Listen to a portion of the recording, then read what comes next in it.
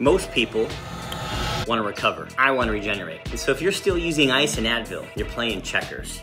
This right here is what chess looks like. And it starts with the most powerful three peptide recovery stack on the planet. Now, a lot of people will use a blend. I refuse because I want to control the exact dose. So I take exactly what I need from each into the same syringe and inject in one. So we're going to start with BPC 20 units. BPC repairs your gut, your joints, your connective tissue. It's the localized firefighter. Next, we're going to do TB500. This one right here, right, is gonna activate stem cells, regulate inflammation, and accelerate healing at the deepest level. Works synergistic with BPC 157. Now throw in GHKCU. This is the copper peptide with over 4,000 gene repair activations. Reversing DNA damage, restoring collagen, and even repairing your nerves. I'm gonna do five units of that. Stack these right, and you don't just bounce back, you level up. All right, so drop a lightning bolt below, and I'll send you my best peptide stack guide.